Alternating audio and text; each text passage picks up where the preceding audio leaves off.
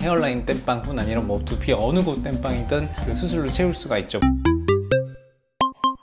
헤어라인 쪽에 땜빵이 있어요. 헤어라인 이식 수술 후 채울 수 있을까요? 그럼요. 그러니까 결국 땜빵이라는 건 어떤 전에 생긴 흉- 상처로 인해서 흉터가 생긴 거잖아요. 그래서 머리카락 부분이 안 자라게 되는 건데 이거는 예, 많이 합니다. 그 두피 내 흉터는 흉터 제거술이라고 해서 그 흉터 부분을 제거하고 꼬매는 방법도 있지만 어, 두피 내에서는 재발을 조금 잘하는 경향이 있어요. 일반 다른 것보다. 그래서 모발 이식을 통해서 그 흉터를 개선하는 방법 많이 쓰고 있습니다. 그래서 땜빵, 헤어라인 땜빵뿐 아니라 뭐 두피 어느 곳 땜빵이든 어, 저희가 그 수술로 채울 수가 있죠. 모발 이식 수술을 이용해서요.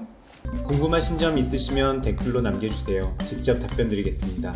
긴 내용이나 사진 등을 첨부하셔서 문의하실 내용 있으시면 아래 설명 링크에 있는 저희 네이버 뉴웨어 카페에 남겨주시면 됩니다.